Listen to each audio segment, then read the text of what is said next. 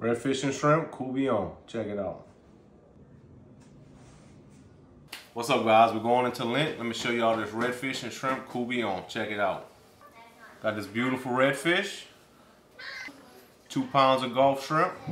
Let's go ahead and get our seafood ready. We're gonna make a nice stock.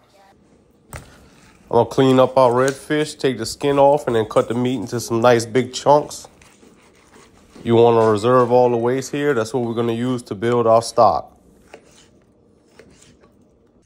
Go ahead and peel your shrimp and you want to make sure you leave that little tail piece on as it contains a lot of flavor. Go ahead and devein them and you want to save all these shells. Add your shrimp shells and your fish carcass to a large stock pot.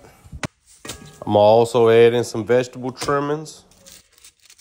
So celery pieces, some onions, carrots, parsley, green onion tops, and some bay leaves. Anytime you're making stock, you want to start off with cold water. That's going to help draw out those flavors. Now for a seafood stock, we really don't have to go long. I let this go about an hour and I went ahead and strained it out. All right, y'all, we got our seafood ready and we got our stock made. We're gonna go ahead and start making the sauce. We'll start out by cooking down our trinity. So that's onions, bell peppers, and celery.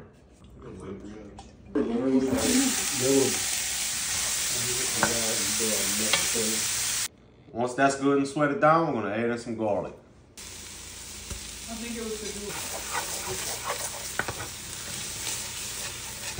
Now we'll go ahead and add in a can of tomato paste and we actually want to brown this down. Those sugars in that tomato paste will actually start to caramelize and you'll transform the flavor in it. We'll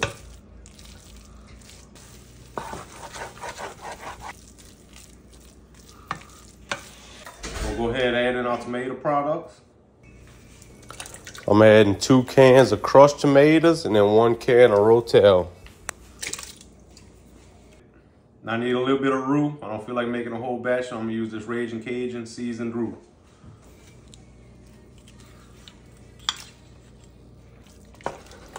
Get that roux stirred in, and once that's well combined, we got this beautiful base to which we could add upon a lot of flavor.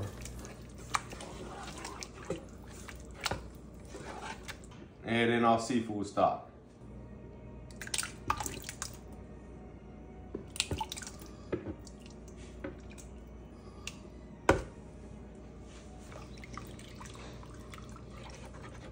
Go ahead and throw in a couple bay leaves.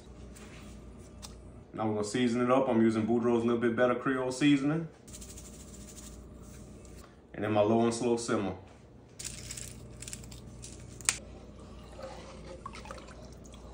Now we'll go ahead and let that cook for a few hours.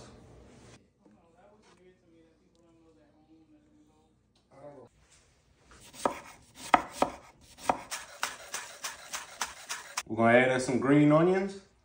I got some thin cut lemon slices just to give it a little bit of freshness.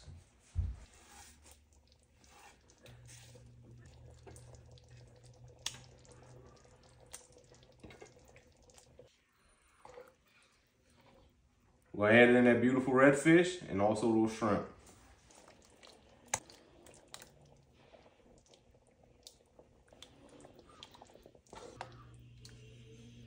Now we already got our flavor from the stock, so we don't need to cook this long. We just want to poach that fish and that shrimp right in that sauce just until it's cooked.